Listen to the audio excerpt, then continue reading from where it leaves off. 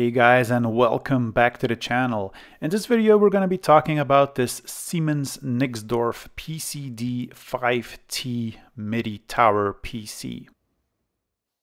Now the PCD family stems from the original Siemens PCD computer which was an MS-DOS based system which was kinda AT compatible but not 100%.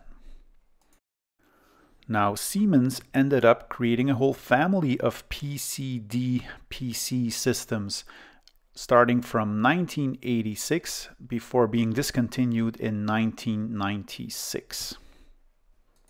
And during that 10 year period, six generations of PCD PCs were created by Siemens, where generation 2 was based on an Intel 8286 CPU, Generation 3 came with an Intel 8386 CPU, Generation 4 with a 486, Generation 5, like the one that I have here, came with a Intel Pentium processor, and Generation 6 came with Pentium Pro based CPUs. Now, during the creation of these systems, the Siemens Office PC department merged with a company called Nixdorf, so hence Siemens Nixdorf was born as a company. Now, my fifth generation model, the Pentium one, is a PCD5T, T standing for tower. So this is a MIDI tower, which was kind of positioned as either a professional workstation or even a server.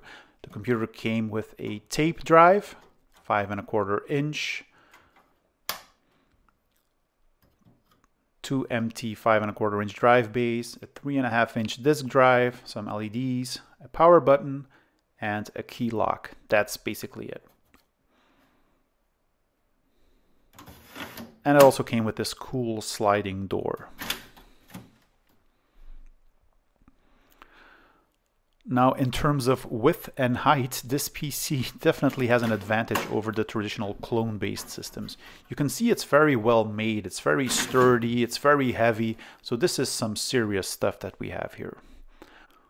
Moving to the back, we have a very basic system. So we have the power supply with the power supply fan, power input, power output.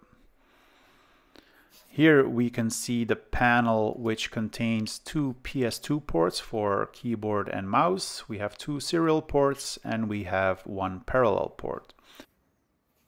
In terms of expansion cards, we see what appears to be a SCSI adapter, a VGA connector, and some kind of external floppy drive or tape drive connector, I don't know. So let's fire her up.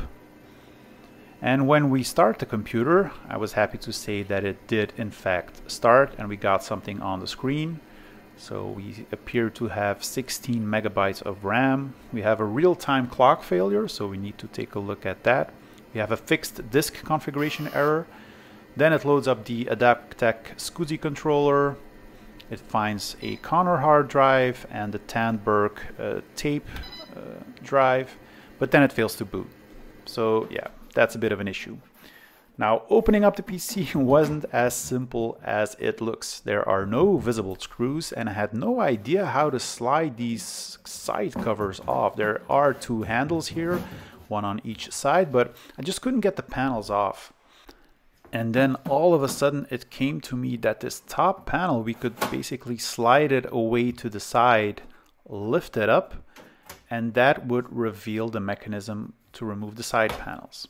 Now on the top cover, we also see some model information here. So this is the PCD5TA PCI 60E. So PCI being a PCI based system, 60 probably means the processor speed. So I'm guessing Pentium 60 megahertz. Now to remove the side panels, we just need to pull it off like so. And then we can access the motherboard. The motherboard does contain some fancy LEDs here at the bottom. No idea what these mean, but I always like these kind of things on motherboards. I also really like the color of this motherboard. It's kind of a special greenish color and I also really like the layout of this motherboard. It appears to be very clean. I also spot some EISA slots, an ISA slot, and then some PCI slots. But the culprit here that prevents the computer from booting, I hope, is the real-time clock failure. So let me get some of these SCSI cables out of the way. And here you can already see what the problem will be. That's right, it's this Dallas RTC chip. Now luckily this is a socketed version. Most cases these things are soldered onto the motherboard directly.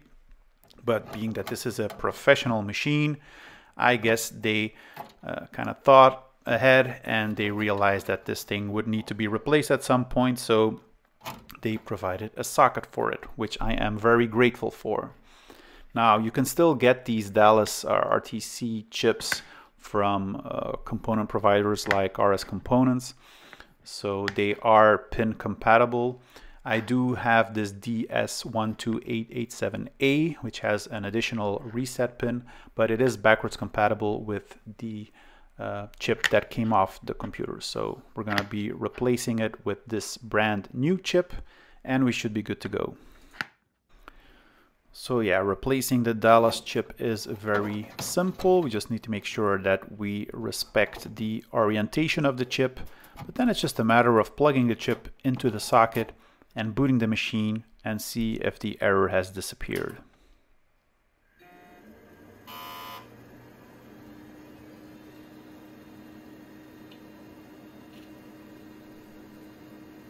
So we get the memory count. And we still get the real-time clock failure. So that's a bit of a bummer.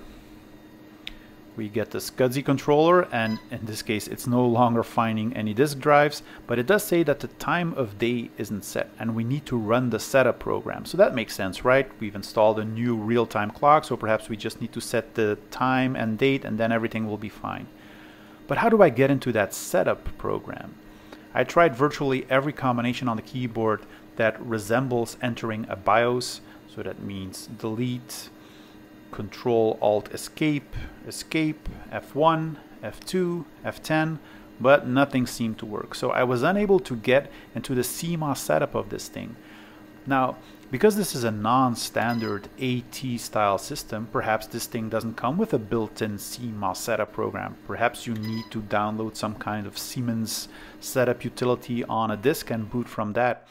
So I decided to uh, go on the internet and see what I could find and I found this EISA configuration utility where you could in fact set the date and the time. And that got me thinking that, okay, so perhaps there is no built-in CMOS setup, so I need to do everything using this setup.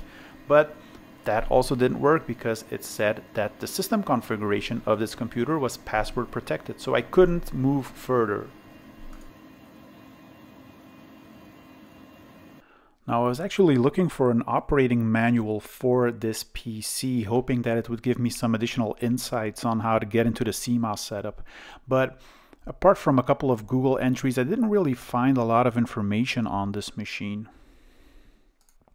I even went as far as to ask Siemens if they still had some manuals, and they actually did reply to my Twitter question. But also have to give kudos to all of the great people in the retro community on Twitter and vintage computer forums that really helped me out in uh, getting some uh, additional files and documentation for this PC. And it turns out that all of the manuals and BIOS updates are still available, but not on the Siemens website, but on the Fujitsu website. Now, Fujitsu Siemens Computers was a, a company founded in 1999, and it had a 50% stake in uh, Siemens. And so here I was able to find the operating manual for this PC and it did contain a piece of vital information that I was missing and that is the magic keyboard combo to get into the CMOS setup. And once we got into the CMOS setup, this looks very familiar obviously. We can set stuff like disk drives, hard disk drives, we can configure the peripherals like the serial ports, the parallel ports, we can also assign interrupt uh, mappings to the PCI slots and that was missing and that was causing the Adaptec uh, BIOS not to load properly. So now fingers crossed and let's hope we can boot this computer. So we get the memory count, we don't get any errors anymore so that's good. Our SCSI adapter will hopefully find the disks now, which it does. Really good. It has installed the BIOS, so it should be able to boot from it, and it does. So we have the SCO Unix System V386, and we can boot into SCO Unix. So this is really this is really cool. Now I probably won't be able to enter the system because I don't have the root password, but I am looking forward into uh, hacking into the system because I think that will be possible to reset the password.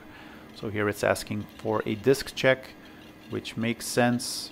So it's going to check the hard drive now. I already checked the hard drive using the Adaptec uh, SCSI utilities and it has verified the media uh, okay. So I'm not expecting a whole lot of issues here. But this is kind of the standard thing that you need to do on Linux and Unix file systems. If you turned off the machine or something, then it will ask you to do a disk check. Um, so normally everything should be fine here. It has remounted the file system and it will continue with the boot process. I am getting some uh, no space on device issues, so perhaps the disk is full for, for one reason or another. So it's probably attempting to write some files on there and the disk is full. So nothing much I can do with that at this point. Uh, here I can decide to go into single user mode, but then I need the root password, or I can type Control D to proceed with the normal startup. Now, I don't have the root password, so I can't really do anything at this point except hit Control D, which will continue the boot.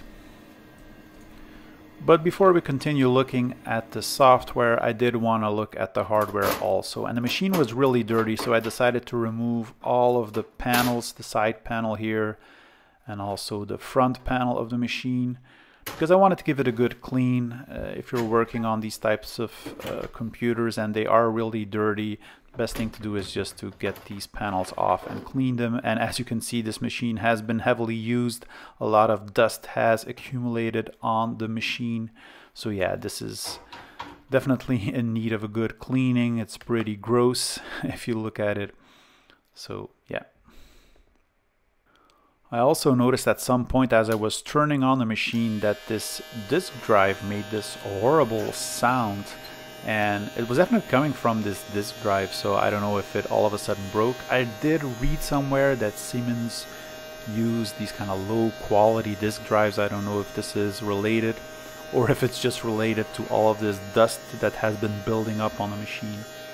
So yeah, but there's definitely something wrong with the disk drive that we will need to look at. But for now, I'm just going to take it out. And same for the tape drive. Not really sure if I'm going to be able to use or test this as I probably don't have any tapes for it. And with this out of the way, we can already remove some cables like the floppy drive cable, the SCSI cable, and get a nicer view of the motherboard. Let me first get this hard drive out of the way. So this is a SCSI 50 pin Conner hard drive. Here we have the CPU.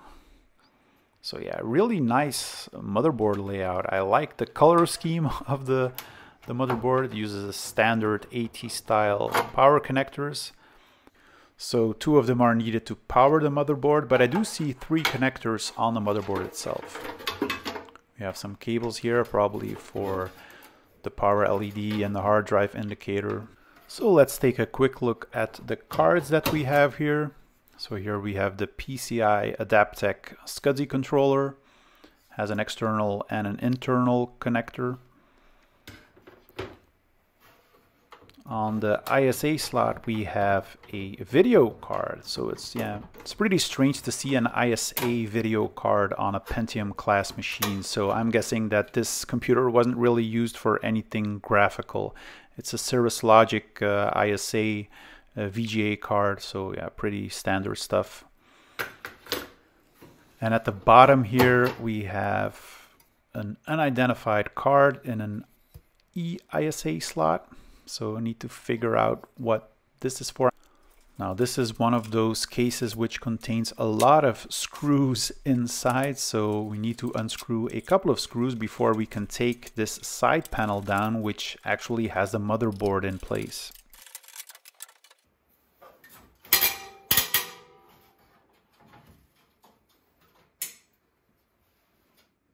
I'm just going to be removing some connectors here. So this is for the front panel, the power LED. This is for the chassis fan. And then we can just pull this side panel down to get a closer look at the motherboard. So let's take a look at the motherboard, shall we? This is kind of an ATX style motherboard, but it doesn't really look like most of the ATX motherboards I've come across. I really like the layout of this thing and I really like that it's very clean and tidy. I also like the green color of the PCB, it really stands out. Now initially I couldn't really find a lot about this motherboard because I was looking for the PCD5T type, but when I started looking for this actual number which was printed on the silk screen of the motherboard, I did finally found some additional information. So this motherboard seems to accept only the Pentium 60 MHz CPU, maximum memory 192, 256 kilobytes of level 2 cache.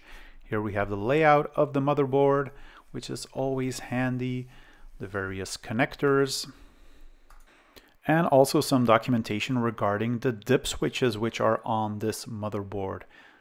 Now, nothing really special here except for some password related stuff and getting the motherboard into recovery mode if, for example, updating the BIOS went wrong, some memory information, but that's basically it. So let's take a quick tour at what we have here and let's start with the external connectors. Now on this motherboard we have limited connectors. We have a parallel port, two serial ports, a keyboard and a mouse connector. That's basically it. Moving along we have four EISA expansion slots, one normal ISA expansion slot and three PCI expansion slots. Now the brown connectors that you see here are the EISA slots. The black one is the standard ISA slot and then the three white PCI slots. Now EISA was used in kind of more professional grade workstations and servers. I don't think that this computer came with an EISA card. It's just a standard ISA card that was put in an EISA slot. We also have some LEDs on this motherboard, so that's always nice to see. I don't really know what they mean, but it is pretty cool to have them. In terms of power, we have three power connectors here, but only two are used. So these appear to be standard AT style power connectors. And according to the color codes of the PSU, this is the case. We have the Dallas uh, real-time clock chip here. So luckily it is in a socket so we can easily replace it. I mean, a lot of the times this is soldered onto the main board and it is a real pain to desolder them, put a socket in and then replace them. But I mean, here, kudos to Siemens for providing a socket on this motherboard. On the motherboard, we also have two IDE connectors, a floppy drive connector, and I think an additional serial port connector, not really sure. IDE channels weren't being used because we had a SCSI interface card and only the floppy drive cable was attached here. We do have this collection of dip switches here, which I showed you earlier in the documentation. So this is mostly related to CMOS password stuff and recovery modes. Here we have the CPU. We don't have an active fan. We just have a heatsink so let's take a look at what we can find on the CPU. I'm not going to be removing the heatsink, but this is a Pentium 60 megahertz CPU from 1992-1993. I wonder if this one contains the floating point unit bug. Perhaps we'll find out later. Moving along, we have some level 2 cache chips here, 256 kilobytes.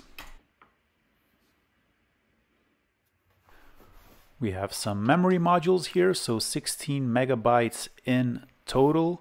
So that's 4 megabytes per module. Notice that they are still pretty dirty. And we have two additional free SIMM slots to expand the memory. We have a PC speaker built onto the motherboard. It's one of those piezo speakers. And then we also have some connectors for the chassis fan. Don't really know what this one is meant for, but this one here is for the front panel LEDs. Now let's take a look at the expansion cards. We have the Adaptec SCSI controller 2940, very popular card, PCI. So yeah, it's not that surprising to see a card like that in an enterprise grade system, workstation or server. Uh, SCSI hard drives are known to be uh, a lot faster than IDE hard drives and you found them often in these types of computers. What we have here is an ISA card, and this is actually a uh, serial uh, card. So this connector here holds up to eight serial ports. Uh, it was located in an E ISA slot, but I'm guessing this is a standard ISA card. The video card was also a 16-bit ISA card, Cirrus Logic. So yeah, obviously this computer wasn't used for any type of gaming. I doubt that there were any user interfaces in the Unix environment either. So yeah, that's why they probably went for an ISA card like this. And now we come to the really sad part of this video, and that has everything to do with this Conner 540 megabyte SCSI hard drive. Now I had put everything, all the parts of this computer in the garage because I wanted to do some cleaning.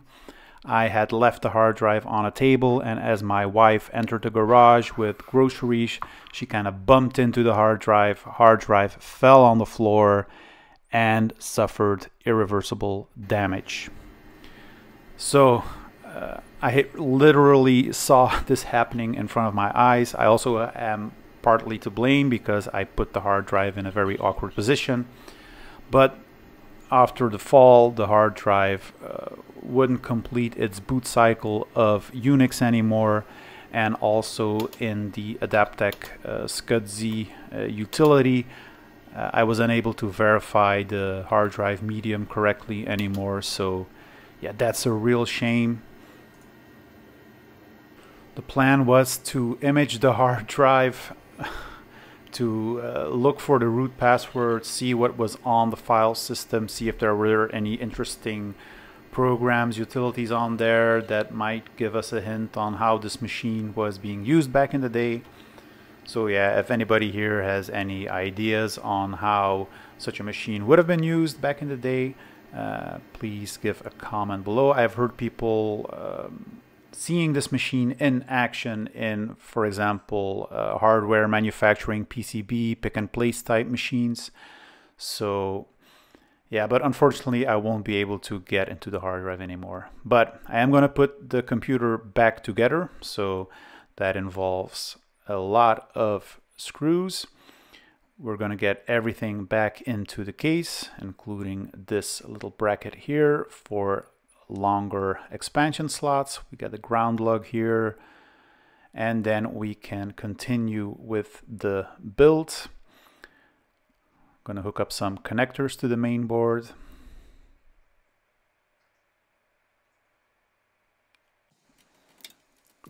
Hook up power to the main board.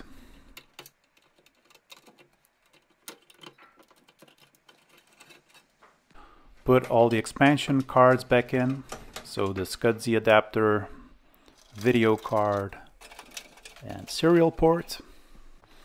Going to give the Conner hard drive one last try. So hook up the SCSI cable and unfortunately see that it still doesn't work. So time for a backup plan in the storage department. Luckily I have a number of other SCSI hard drives like this Quantum Fireball or this Fujitsu hard drive or this Hewlett Packard one. So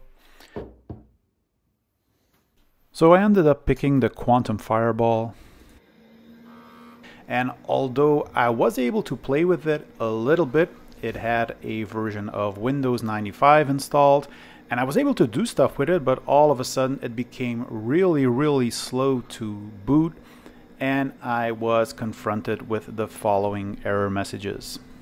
I'll leave it up to you guys to Google Translate this, but I'm guessing you already know what the issue is. My guess is that this computer was probably used in a sawmill or something, judging by the sound of this hard drive. And for those of you who've seen my previous video, you know that I'm not up to the task of fixing this hard drive. And with a failing hard drive in the background, I did decide to continue with this PC for part two. I'm going to add a new video card, a SCSI CD-ROM drive. I'm also going to be adding some networking, some sound, and hopefully turn this into a nice little Windows 95 machine. Or I could take the SCO Unix route. At one point I received a whole truckload of uh, SCO Unix boxes and I kept most of the disks so I, I, don't know if this is even compatible with this PC or if this somehow corresponds to the SCO Unix uh, system that was on the PC but I will see if I can kind of reinstall that that original SCO Unix version. So I hope you've enjoyed this video. I hope you stick around for part two. If you like it, please consider giving it a thumbs up, leave a comment, subscribe to the channel. It would really support the channel, and I hope to see you guys soon. Bye-bye.